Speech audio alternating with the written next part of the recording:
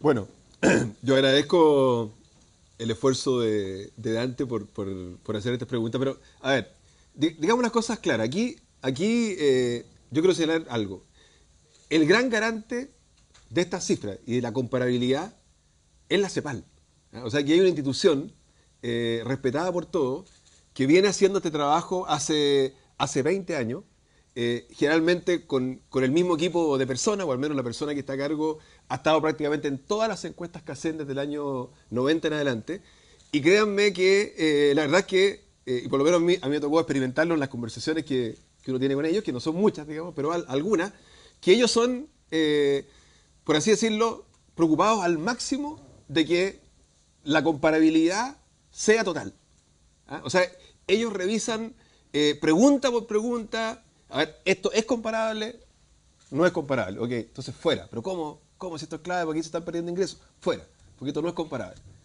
Oye, esta pregunta está hecha, no es exactamente igual, pero sí, es comparable.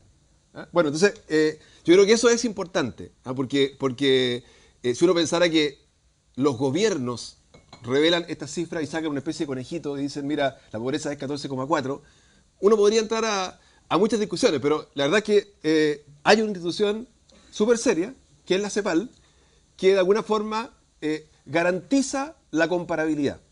Cambios en los cuestionarios ha, habido muchos. Y de hecho, eh, a lo largo de los años ha habido muchos cambios en los cuestionarios. Me acuerdo en las conversaciones que nosotros teníamos de repente con ellos, decir, pero mira el cambio que hubo entre el año 2003 y el año 2006. ¿Ah? ¿Por qué ustedes ese cambio lo consideraron comparable y lo aceptaron y este otro cambio no lo consideran comparable? ¿Ah? Entonces, eh, la verdad es que yo siento que, la CEPAL, más allá de, las discusiones que uno pueda tener y de, eh, lo que uno le gustaría o no le gustaría, es una institución seria, garantiza la, comparabilidad de la, serie. ¿ah? Ahora, eh, por ejemplo, es obvio que si, tú tomas una encuesta que hacen más grande, esta fue una encuesta que hacen más grande, y la idea es que eh, se mantenga en el futuro, no se puede tomar una encuesta que hacen grande en un periodo tan corto. Por eso hay que alargar el periodo de tomar, de tomar la muestra. Pero para la CEPAL, la muestra comparable es solamente, eh, por así decirlo, Dante, estos 59.000 hogares. ¿Por qué? Porque son los hogares que tienen su centro en diciembre y que preguntan por los sueldos de noviembre. Entonces nosotros tomamos eh, hogares en enero o hogares, hogares en febrero, esos hogares tú no los puedes comparar porque en febrero preguntas por los sueldos de enero y en enero preguntas por los sueldos de, por los ingresos de diciembre y los ingresos de diciembre tienen una cierta estacionalidad. En que tienden a ser mayores que los de noviembre. Entonces la CEPAL eh, obviamente es súper celosa de eso y por tanto hay una ola, dicen los, técnicos, eh, de la encuesta que hacen, que es la que se toma en cuenta para, para esta medición, que es la que es exactamente comparable con la otra. Ahora, la discusión del margen de error, está bien, en primer lugar aquí no hay ningún... Eh, las bases de datos se van a dar a conocer como siempre se han dado a conocer. Tú, Dante, también conoces las encuestas que hacen eh, anteriores y sabes que esto siempre ha sido así. Eh, la CEPAR entrega los datos, nosotros los dimos a conocer dos días después de que ellos nos entregaron el dato a, nosotros, o sea, fue ultra súper rápido. y llegado un momento, que son normalmente alrededor de 30 días, hacia fines de agosto, se entregará la base de datos y estará todo, como siempre ha estado. ¿eh? Entonces, eh, la, encuesta se diseñó, y eso también tú lo sabes porque está en la base de licitación, ¿eh? se, diseñó para un margen de error del orden de 0,67%, una cosa así. Entonces, en el fondo, si tú, si tú dices, la caída en la pobreza extrema es significativa, es significativa. Eso fuera de toda duda. La caída en la pobreza está en el margen, por eso nosotros hablamos de una caída leve. ¿eh?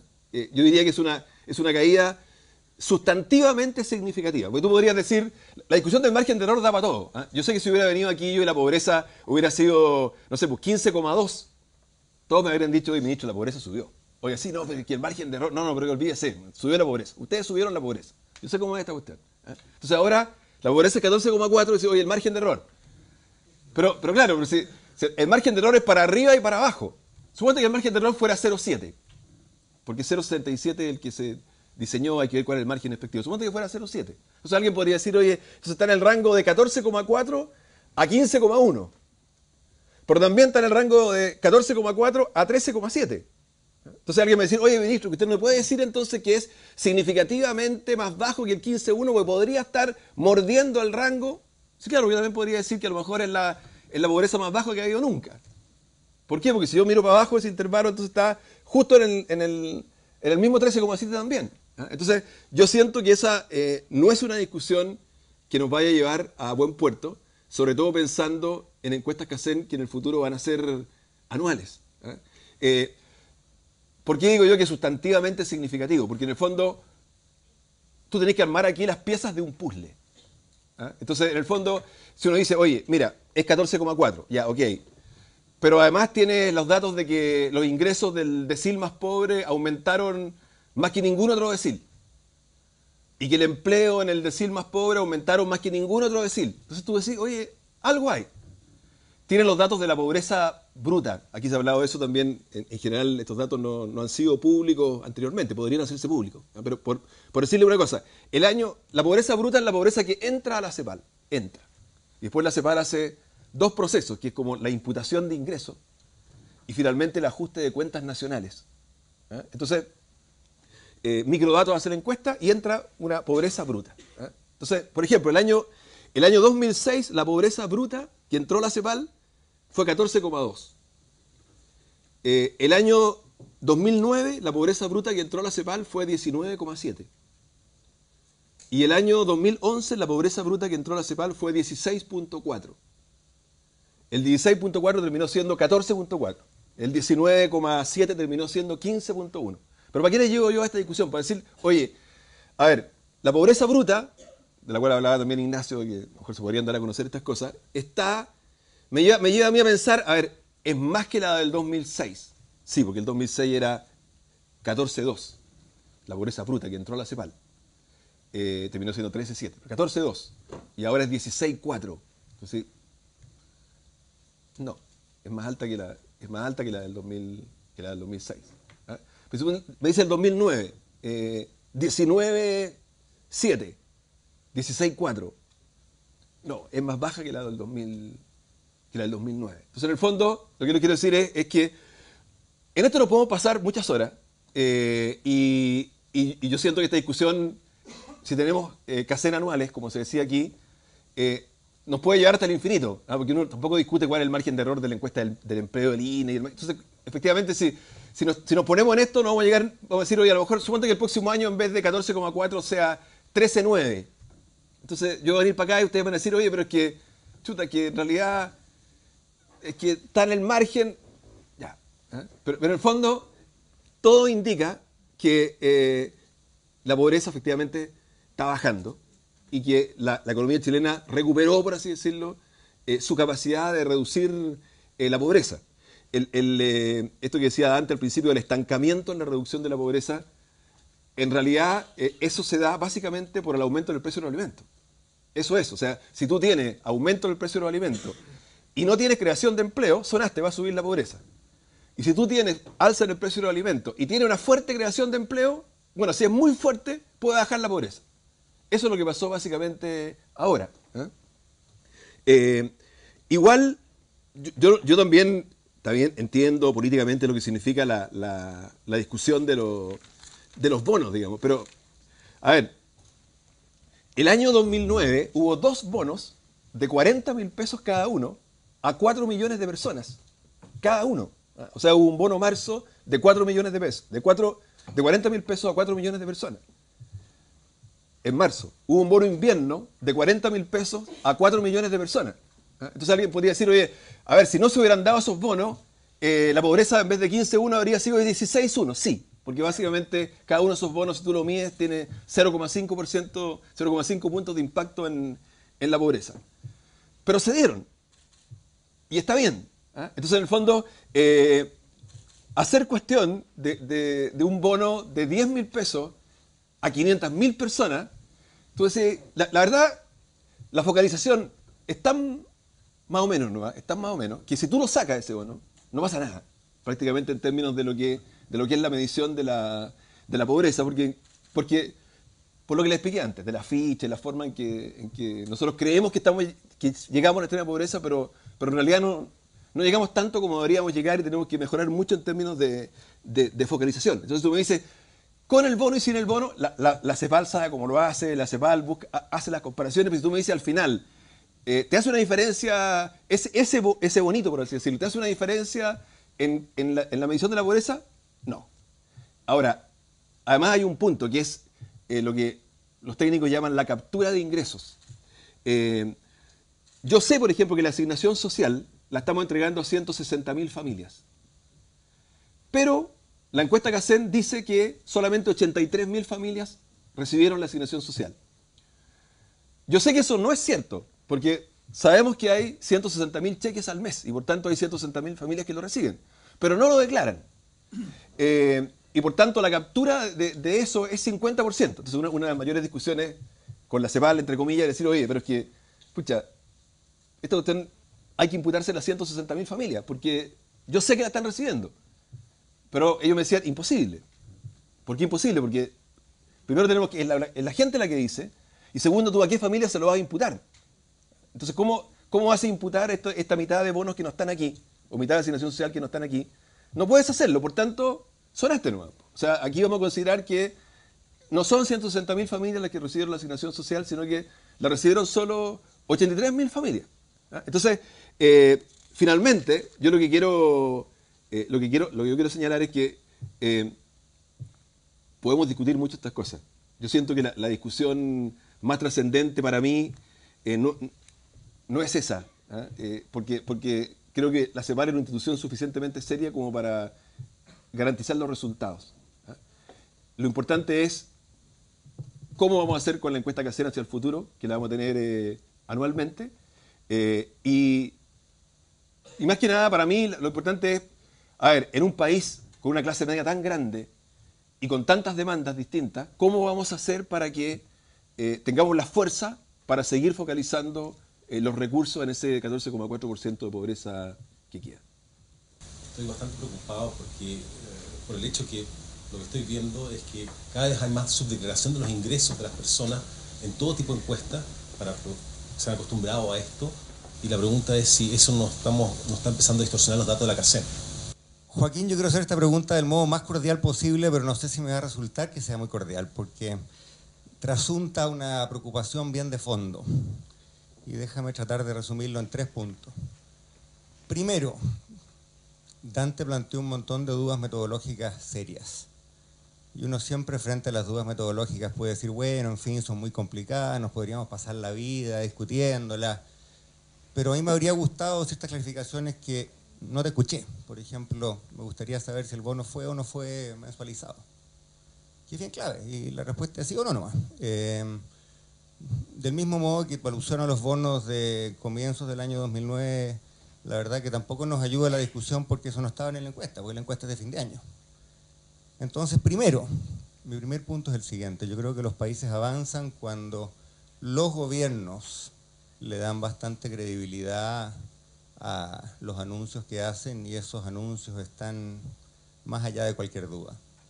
Y a mí me preocupa mucho cuando yo vi una encuesta, ya no me acuerdo de quién era, creo que era de Imaginación, que le preguntaban a la gente, ¿usted cree los resultados de la encuesta que hacen o no? Y 20% decían que sí y el resto decía que no y hay gente que celebrará eso por razones políticas, yo lo lamento, me preocupa, es súper preocupante. Es súper preocupante porque yo creo que uno de los grandes patrimonios de Chile es precisamente que los datos que todos entregamos están más allá de cualquier duda. Entonces, creo que hay ciertas clarificaciones que yo imagino se entregarán en su momento, pero, pero yo por lo menos todavía no las he visto. Ese es el primer punto. El segundo punto tiene que ver, tú dijiste que hay dos variables clave, los alimentos y el empleo. Y me gustaría centrarme en cada una de ellas dos porque coincido, son efectivamente las claves, pero importa bien, me importa mucho cómo interpretamos esas claves.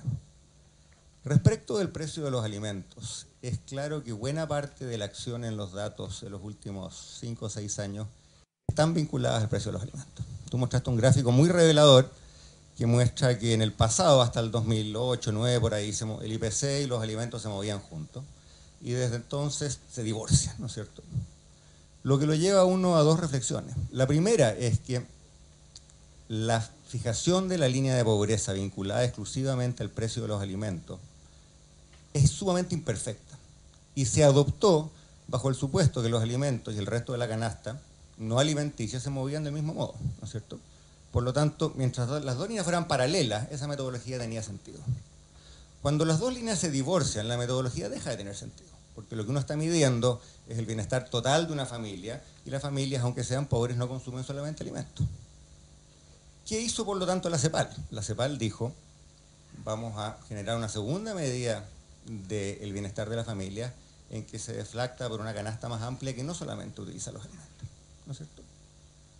Si uno usa esa segunda medida, y uno podría discutir si es buena, si es mala, si es mejor o es peor, pero creo que para entregar la mayor cantidad de información posible al público es bueno tener las dos a la vista, ¿no es cierto? Si uno tiene esa segunda medición, ¿qué nos dice la CEPAL? Nos dice que el año 2009 la pobreza cayó a 11.5 y según el dato que tú acabas de dar, la pobreza habría caído de nuevo a 18. A mí esto me parece bien revelado, ¿no es cierto? Porque a mi juicio esa metodología es mejor para las actuales circunstancias. toda metodología es buena o mala dependiendo de si los supuestos se cumplen o no. Cuando los supuestos que subyacen una metodología dejan de cumplirse, hay que cambiarla. Si uno la cambia, todo el debate que Chile ha tenido en los últimos dos o tres años pasa a ser totalmente distinto. ¿Por qué? Porque la, la pobreza en vez de subir supuestamente el 2009 habría caído y ahora habría vuelto a caer, ¿no es cierto? Por lo tanto, el gobierno no podría haberse anotado el poroto político de decir que el 2009 la pobreza subió.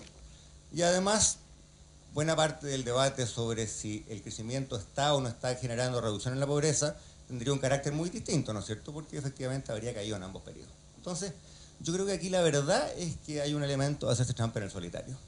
Eh, uno podrá decir, bueno, hay que usar la misma metodología siempre, pero resulta que la metodología, a mi juicio, ya no es eh, válida y por lo tanto yo habría esperado que al menos el gobierno mostrara ambas cifras y dijera, bueno, al que le guste esta, este es el resultado, al que le gusta la otra, la otra es el resultado. Eso no se hizo. Entonces creo que se distorsionó la discusión, se indujo el público a ciertas conclusiones que no son correctas y además se llevó por mal camino el debate público, porque el debate público está centrado en un conjunto de resultados que capaz que nunca hayan existido. Ese es mi segundo punto. Mi tercer punto, y aquí termino el turno, no me voy a demorar mucho, es el siguiente. Tú hablabas del empleo, y yo ciertamente estoy de acuerdo que el empleo es re importante, tanto que escribí un libro que tú, citaste, el ministro ha dicho que le gusta el libro, así que celebro y agradezco eso. Eh, pero es bien importante tener cuidado sobre cómo uno interpreta las cifras de empleo. ¿Por qué? Lo que pasó el 2009, y esto lo documentamos laramente en el libro, es que si bien es cierto que el empleo agregado se mantuvo súper estable, no estoy hablando del desempleo, estoy hablando del empleo, el empleo del decil más pobre cayó y mucho. ¿No es cierto? Mucho. Y lo que ha pasado desde entonces es que el empleo del decil más pobre subió y mucho. Subió más o menos a donde habría estado si la crisis no hubiese existido. ¿No es cierto? Entonces, por un lado, uno obviamente celebra el desempleo, o sea, perdón, el empleo de los pobres subió, espléndido, muy bueno. Pero la verdad es que eso le huele a uno una recuperación cíclica y no le huele a uno un cambio estructural. Si tú nos hubieras dicho que una recuperación cíclica del empleo, yo lo celebro ni un problema. Pero tú nos dijiste que la economía chilena había recuperado su capacidad de generar bajas en la pobreza fruto de una serie de políticas. Y la verdad es que yo lo que veo es una recuperación cíclica en el empleo de 10% más pobre.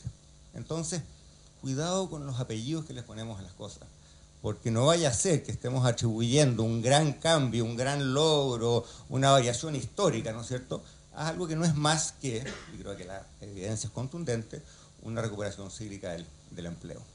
¿Por qué es importante esto? Porque si miramos hacia adelante, el problema que tú identificas y nosotros identificamos en el libro sigue siendo muy clave. Los más pobres recuperaron su empleo, sin embargo, estructuralmente la tasa de empleo del, del decil 10 sigue, perdón, del decil 1 sigue siendo bajísima, bajísima.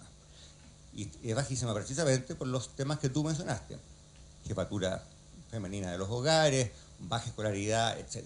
Entonces, para llegar a la conclusión a la que tú quieres llegar, que en aquí en adelante va a ser difícil bajar la pobreza, el raciocinio es distinto. Y el raciocinio es distinto y tiene consecuencias y análisis políticos muy distintos. Y eso a mí me preocupa, porque me parece que estás llegando a una conclusión contando una historia que no es la historia correcta. Termino, Arturo, con una frase. Yo creo que el patrimonio de Chile es que hemos tratado los datos con seriedad. El problema de algunos países vecinos es que no lo han hecho. No nos vayamos a, argentinizar, ministro. Retomando un poco lo que mencionaba Andrés Velasco con el tema del cuestionamiento hacia las cifras, digamos, de que la metodología, que el gobierno anterior usó, eh, la misma, que este por qué no la cambió, etcétera. Eh, y, el, problema de credibilidad asociado, bueno, que este gobierno la tiene, digamos, en parte por la persona del presidente, digamos, bueno, eso es otro tema. Eh, yo sabía, el otro día leía, una, no acuerdo si una columna, un artículo sobre que, por ejemplo, cuando el Banco Central daba cifras de su, de su IPOM, qué sé yo, nadie lo cuestionaba, digamos, porque por, la misma autonomía del Banco Central. Entonces, eh, ¿no sería, no sé, eh, quizá un poco más sensato, prudente, despolitizar un poco eh, todo, digamos, el cuento que hay asociado a que cuando un gobierno da las cifras y todos celebran, bueno, dependiendo de qué lado sea el gobierno, digamos, los de un lado celebran, los otros critican, bueno, que se dio, digamos, hace cuatro años y, o no sé, cuando el, gobierno anterior en el que Andrés Velasco fue ministro, digamos, se repitió el mismo cuento que hay ahora para la inversa. Entonces, no sería, digamos, mejor despolitizar este asunto que este, y este estuviera en manos de un organismo, ojalá lo más autónomo posible y que definiera su metodología de forma autónoma en vez de que, oye, si lo dice el gobierno, digamos, bueno, sobre todo este gobierno que tiene poca credibilidad, oye, sabe que no, le creemos porque, bueno, no sé, ¿no sería mejor eh, disociarlo?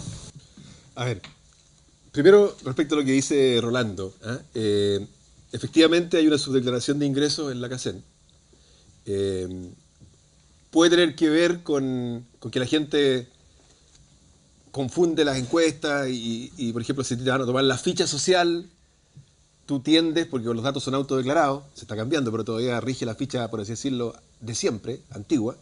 Eh, entonces, la gente sabe que si tú declaras menos, eh, va a tener más puntaje, por tanto va a tener más, perdón, menos puntaje, por tanto va a tener más acceso a, a subsidio. ¿ah? Entonces, es posible que esa, manera de actuar, que a lo mejor de manera permanente, por así decirlo, también influya aquí. ¿ah? Entonces, ahora, tú, puedes, tú podrías hacer, pero eso ya no es comparable, eso es lo que me dice a mí Juan Carlos Férez. Yo digo, oye, pero yo podría imputar eh, la asignación social, porque, porque estamos hablando de eso, a, a las 160.000 familias. Claro, tú podrías hacerlo como ejercicio, pero me dice, no es comparable. ¿Por qué no es comparable? Porque la gente no lo declaró y así ha sido todas las encuestas que hacen hacia atrás y porque a qué familia se nos va a imputar. Entonces ya estamos hablando de un escenario, tú puedes hacerlo y decir, mira, si se hubiera contado las 160.000 familias que recibieron la asignación social, la pobreza hubiera sido 14,1, por decirte cualquier cosa. ¿Eh? Pero, pero, no, se, no, se, no corresponde hacerlo. ¿eh? Pero sí, efectivamente, eh, hay una subdeclaración de ingresos y, y, en estos subsidios está en el orden del, del 50%, más, más o menos. Ahora, Respecto, respecto a Andrés, el tema, yo, siento que hay que tener cuidado con esto, porque tú, tú, tienes la palabra argentinización, y sabemos lo que, lo que significa y la carga que hay detrás, digamos, pero, pero seamos serios. O sea, eh, la encuesta que hacen se entregó como siempre se ha entregado. ¿eh? O sea, siempre es así, se van liberando los módulos, primero el módulo de pobreza, después el módulo de desigualdad, ahora le agregamos el módulo de satisfacción con la vida, que es nuevo, pero no es comparable con lo anterior, después la casé en familia, la casé en mujer, la casé en educación, a los 30 días se libera la base de datos, y eso es que eso es ahora, porque antiguamente se demoraba más todavía en, liberar la base de datos, y, toda la gente puede hacer todos los cálculos que, quiera. ¿ah? Entonces, eh, yo siento que a veces duele, no sé, porque que, finalmente el gobierno del presidente Bachelet haya subido la pobreza y el gobierno del presidente Piñera haya bajado la pobreza. ¿Por, qué no se puede aceptar que eso, que eso puede ser? Que eso, eso pasó. ¿Ah? Ahora tú podrás discutir, oye, no, pero es que en realidad viene que el 14-4, ya, ya, discutamos todo lo que quieran, digamos. Pero, pero, pero la verdad es que todo cuadra, la recuperación cíclica, la recuperación que tú dijiste, sea cíclica o no sea cíclica, eh, de que efectivamente eh, se dio un ciclo en que eh, si, subía el precio de los alimentos y no hubo buena creación de empleo en el primer decil, subía la pobreza. Y eso pasó entre el 2006 y el año 2009. Podremos argumentar miles de razones por cuáles eso, eso ocurrió, aminorada por los bonos. y que entre el 2009 y el 2011 se dio un ciclo en que el precio de los alimentos siguió la misma tendencia, el doble que el IPC, pero, pero no pasó lo mismo con, el empleo y hubo esta recuperación. Sí, concuerdo con, Andrés, digamos, de que, de que eh, yo, no es que esté diciendo que, yo cuando me refiero a que va a ser difícil eh, seguir bajando la pobreza, lo, que, quería llevar la discusión es, a decir, oye, Chile, ¿le va a dar prioridad a bajar la pobreza? ¿Le va a dar prioridad a seguir bajando, verdad, este, este 14,4? ¿O las peticiones de la clase media, o este 75% de Chile que ya no es pobreza y nieva ese 1, es tan grande y tiene tantas cosas que pedir que en realidad, pucha, va a quedar poco para este 14,4, esa es la parte que me preocupa a mí. ¿ah? Porque yo siento que el rol del, del, Ministerio de Desarrollo Social, sin perjuicio que redefinamos la CACEN, la pobreza y medicina alternativa, el, el rol como de la conciencia de la sociedad del Ministerio de Desarrollo Social tiene que decir, cuidado señores, sigue habiendo 2.400.000 personas ahí. Y por tanto, por favor, concentrémonos, bajemos ese, ese 14,4, muy importante. Oye, es que tenemos que darle al que está... Sí, está bien. ¿ah? Clase media emergente, subsidio de vivienda a la clase media, está bien, está bien, ya está bien. Pero no perdamos ese, ese, ese foco, porque finalmente es la clave. ¿ah? Entonces, yo sí concuerdo con, con, Andrés en que el empleo del decil 1 sigue siendo súper bajo. ¿ah? Y finalmente ahí está eh, la esencia de todo.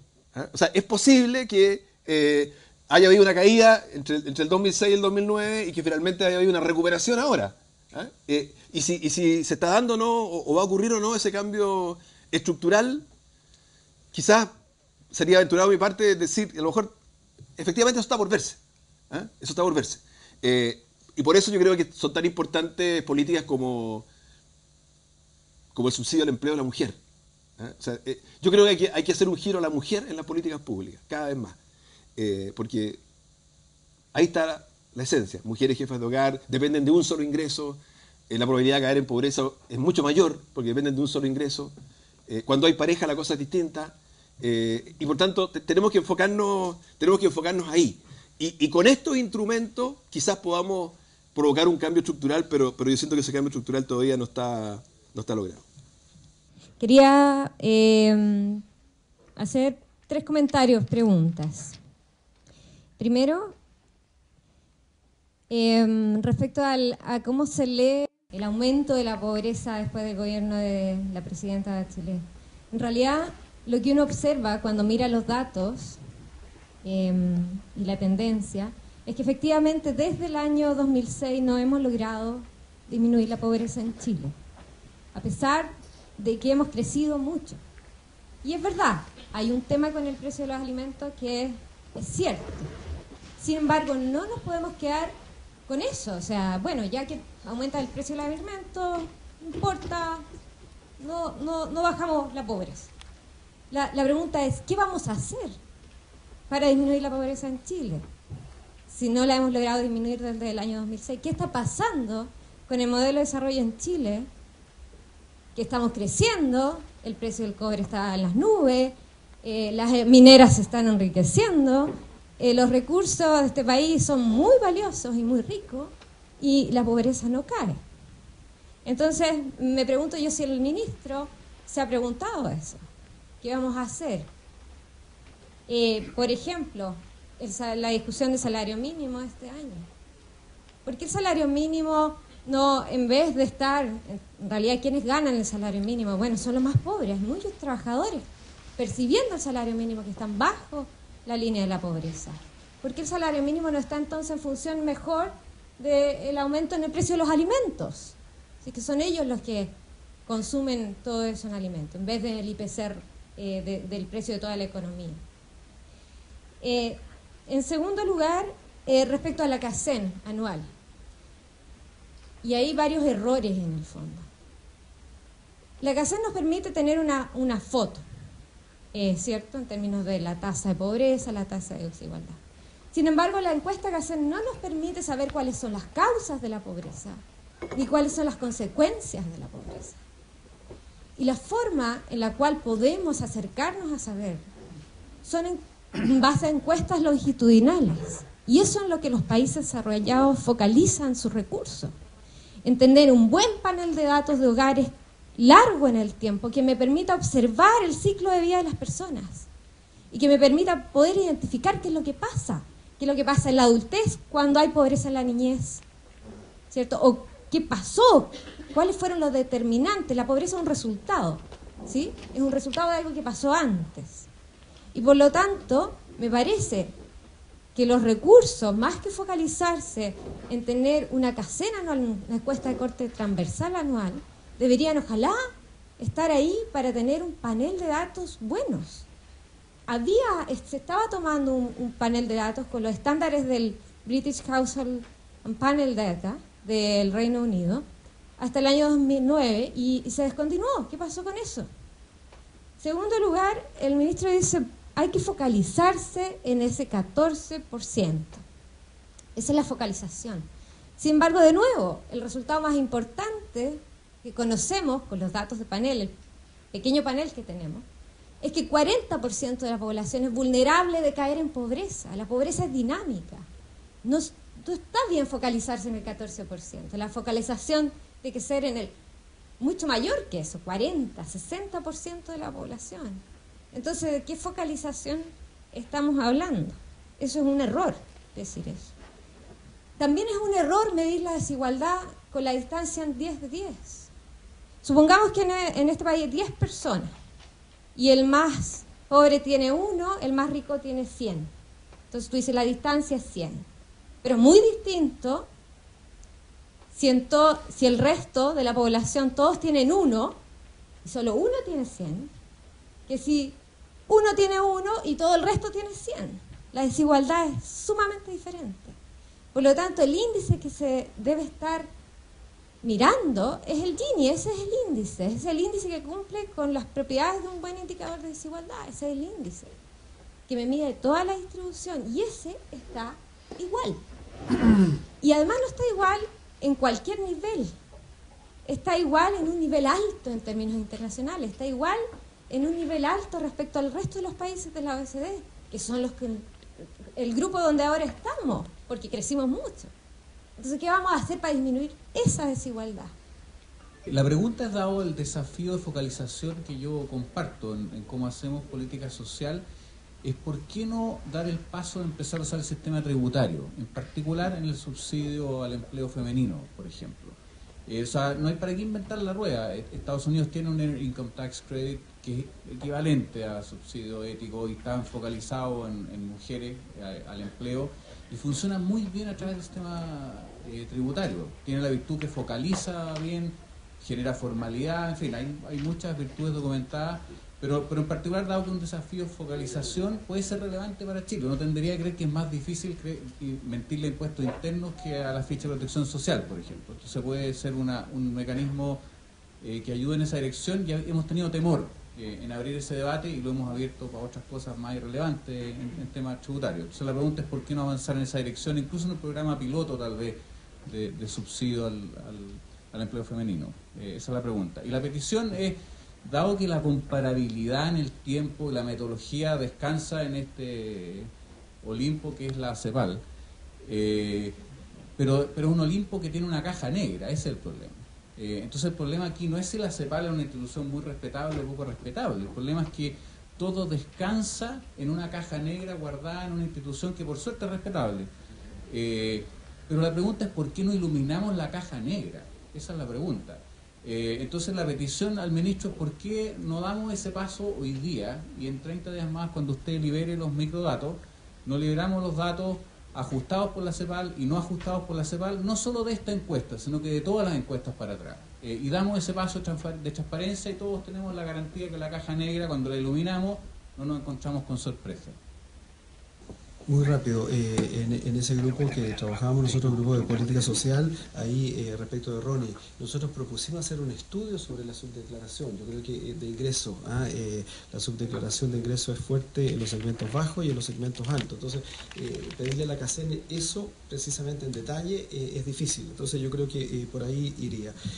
otra cosita más, respecto de, lo de Andrés Velasco, yo estoy de acuerdo y no estoy en de acuerdo, ¿ah? porque en el fondo eh, podríamos tener muchas líneas de pobreza y yo creo que vamos a tener que ir a eso. ¿ah? Pero eh, creo que el, el país ya tiene una fijación con la línea de pobreza como la ha definido históricamente la CEPAL efectivo, lo que dice él, el 2006 hubo este cambio metodológico, que un detalle, se actualiza eh, una parte con el IPC de alimentos y otra parte con el IPC total, ¿ah? entonces, y eso cambia la tendencia tal como lo señalaba. Podríamos tener una diversidad ¿ah? eh, multidimensional, etcétera, etcétera, pero hay, tenemos ya una fijación con la línea que ya se definió en algún minuto y yo creo que hay que seguir con eso. La focalización respecto, eh, pucha, esta es la pregunta al ministro, pero dado que esta es la última intervención, eh, eh, yo estoy ahorrándole tiempo, no sé. Eh, Contesta, no, contesta. la focalización es verdad, la política pública ya estamos llegando. Oye, si la pensión básica solidaria llega al 60%, la subvención preferencial llega a un tercio. Eh, en fin, hay un montón de subsidios que en la línea de pobreza es un indicador. Entonces, a mí lo que me retrotrae de esto, ¿para qué necesitamos la línea de la pobreza? Hoy, porque la asignación de los subsidios no se hace en base a la línea de pobreza.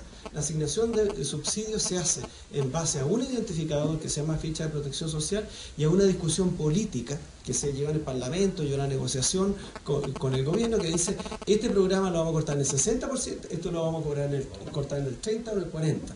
Y eso es una discusión política que está en otro escenario. Entonces, la línea de pobreza, lo importante que creo que tiene hoy día es para ver cómo el país se está desempeñando en un foco importantísimo de la política social. Pero decir, eh, 15% más asignación, no, si eso es una discusión política, eh, como les digo, y esa discusión se tiene en el Parlamento y en las negociaciones que hace el gobierno de turno.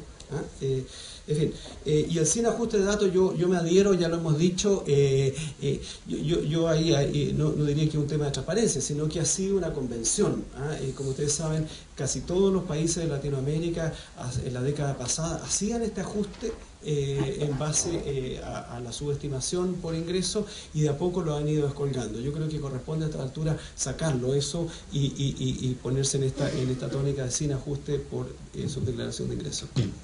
En primer lugar, me parece que me faltó alguien de la CEPAL acá. Han sido tan aludidos que efectivamente hubiera sido muy interesante tenerlo. Quiero reiterar algo que escuché a, todos los, a todas las personas que intervinieron y, y al ministro y a la mesa. Eh, la relevancia de cuidar la institucionalidad y cómo la va mejorando en el tiempo. ¿no? Yo creo que eso tiene que ser la meta de largo plazo. Es decir, uno puede tomar estas cinco preguntas y, y, y, y decir, mira, en realidad son injustas o, no son correctas o, hay cierta intencionalidad. La verdad que no. La pregunta es cómo tomamos estas cinco preguntas y miro para adelante. ¿ah? Y mejoro la institucionalidad y, y, construimos entre todos mejores datos y, mejor estadística para, el análisis, en este caso de políticas sociales. Entonces, a estas cinco preguntas, por ejemplo, eh, eh, el ministro me responde básicamente con la CEPAL es confiable ¿eh? y es creíble eh, en la línea que decía Claudio. Y efectivamente todos confiamos en la CEPAL y, y, no dudamos de que efectivamente están haciendo un trabajo serio y hacen el mejor esfuerzo para lograrlo. ¿sí? Pero nuevamente, si uno lo mira para adelante esto y lo focaliza en la pregunta relativa a la institucionalidad, uno se pregunta, bueno, pero los cambios cuestionarios no son responsabilidad de la CEPAL. Los cambios en los diseños muestrales y en los tamaños muestras no es responsabilidad de la CEPAL. ¿Se entiende dónde voy? ¿Ah?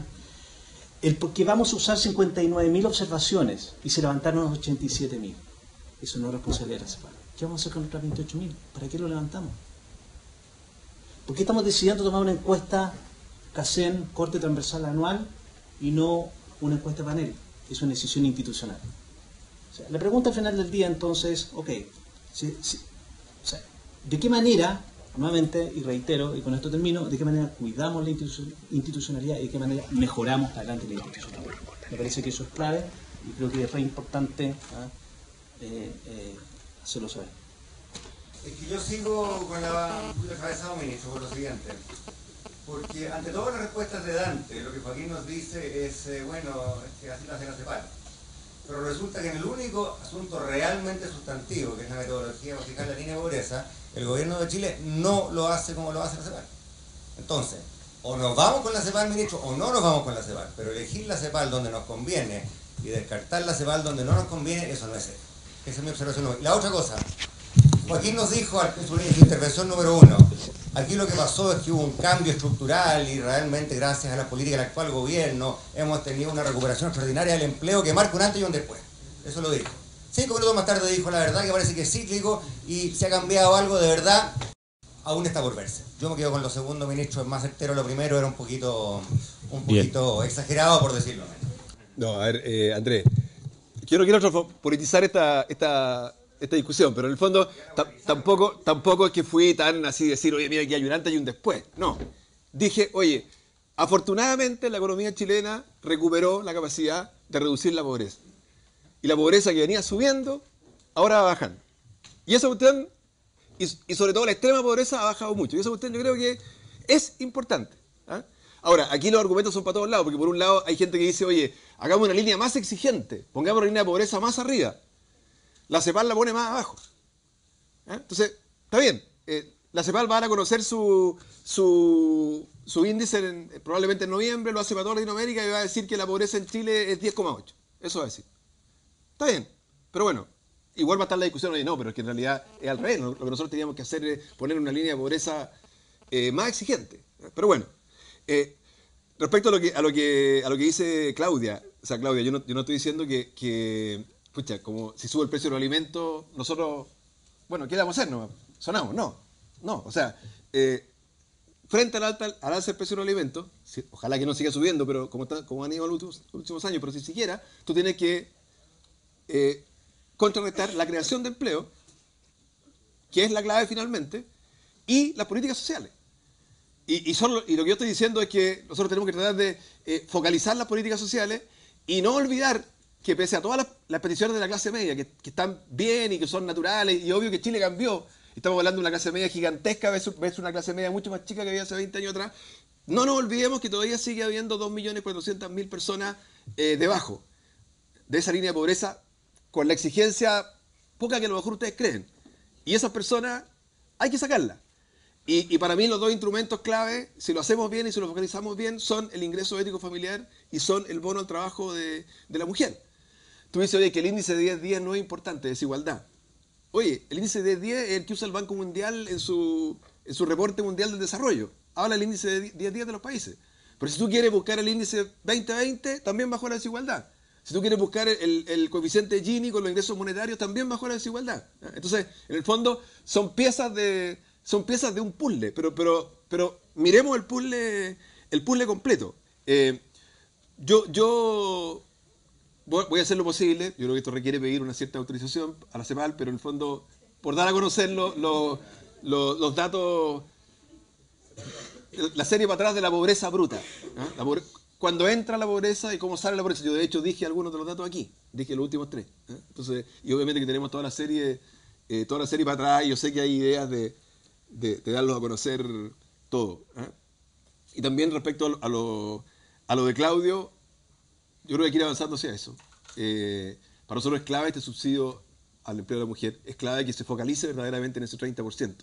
Porque, Claudia, eh, tu discusión del salario mínimo, está bien, pero, pero la verdad es que eh, la preocupación aquí, y, yendo también conectándolo con lo que decía Andrés Velasco, aquí estas personas no tienen trabajo.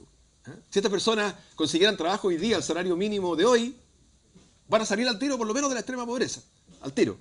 ¿ah? Entonces, entonces